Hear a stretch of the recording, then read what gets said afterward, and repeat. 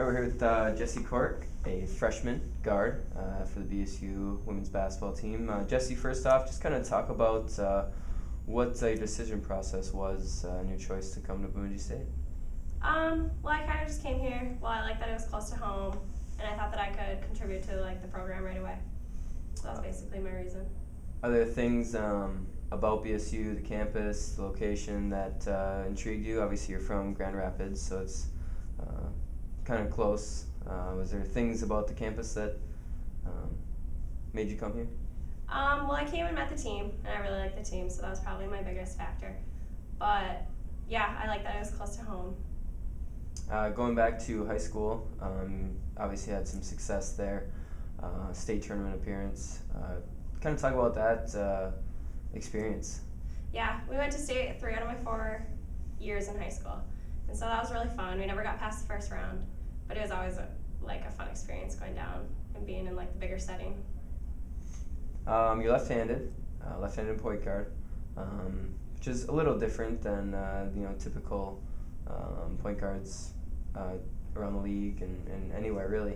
Um, has that helped you, or do, is it something that uh, matchup wise, when you're on defense or even offense, that um, either messes with the defender or helps you in any way? Well, I think it helps because every defender is trained to like play a right-handed like person, Mm. and so you think teams would catch on to like me being left-handed, but it's always like a little more of an advantage. Um, how about uh, your game? Uh, you kind of talked about a little bit, uh, being able to come here and play right away. Um, what is it about your game that uh, will be able to transition in Division Two? I don't know. I hope it's just like a leadership thing. Like I like, I don't know. I think just like as a team, we need to put it all together, and just like come together. And I hope that I can just contribute. You've been uh, through you know a few weeks of practice, got some experience uh, against Jamestown.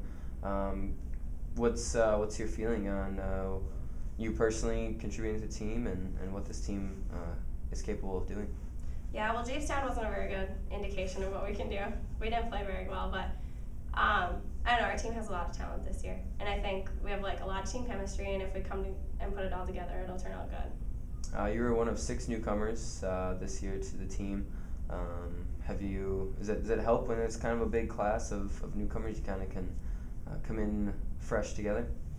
Um, it is, but we get along with all like the upperclassmen too, so we mesh really well. So I guess it doesn't really make that big of a difference, but.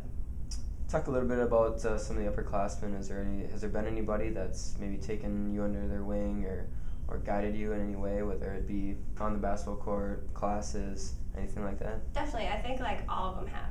Like if I didn't have my basketball girls, like to train me into college, I'd probably be really lost.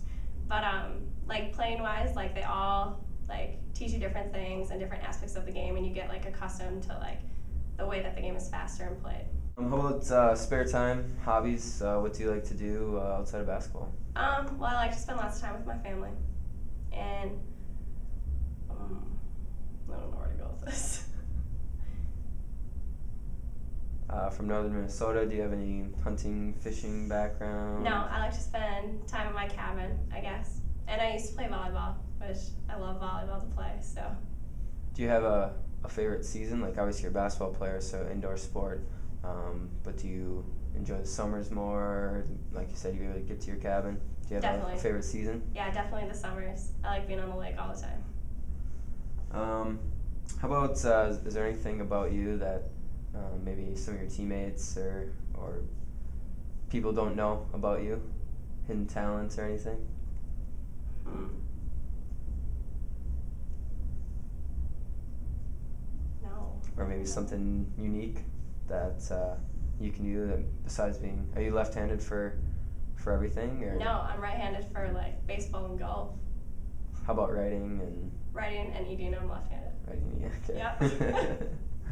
how about uh, school uh, how's school kind of going so far do you have a favorite class uh, Um, it's going good. I guess like it's kind of hard transitioning from like high school to college where I actually have to study here and stuff. but um, I don't know. They say it gets easier, so hopefully that's the case. obviously you're successful uh, in your uh, high school career academically uh, I believe you finished right around a 4.0 um, do you feel like you're so far you think you'll be able to translate that into into the college uh, college realm Um, I hope so, like somewhat. it's just like my goal to like do my best and just it's like it's hard getting adjusted to like athletics and academics. Mm. You know, like balancing your time wise. But hopefully it'll go well. Uh, do you have a any sort of career idea yet? Is there anything that uh, you've thought about?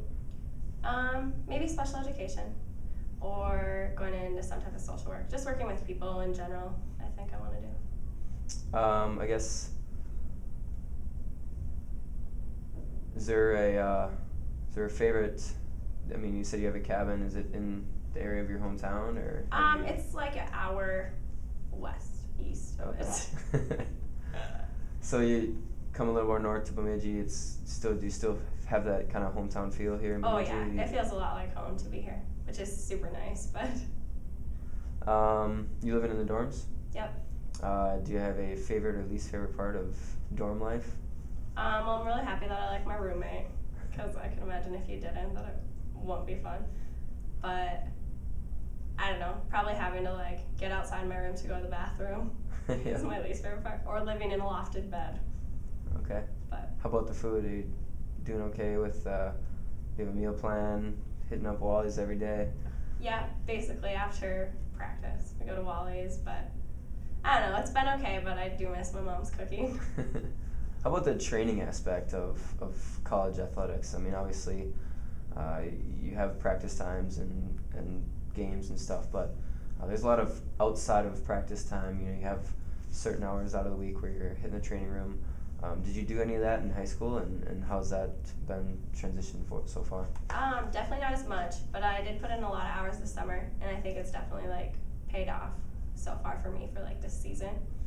But in high school, we didn't do much of that at all outside of practice. How about film study? Did you do that in high school at all? Do you, and obviously, it haven't gotten the season started yet, but is that something that you think you might enjoy? Uh, kind of taking a look at other teams on film and. Yeah, we did a couple times in high school for our like bigger games, our matchups that we really wanted to beat. But um, yeah, I think it'll help a lot watching it more in college.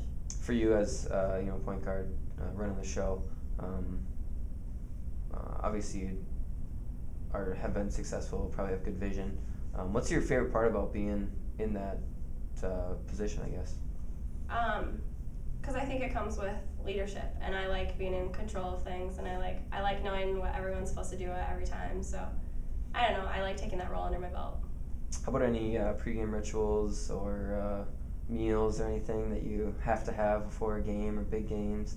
Any uh, any rituals or quirks, I guess? Um, well, I always eat a half of a Snickers marathon bar before my game and eat half of it at halftime, I guess. so.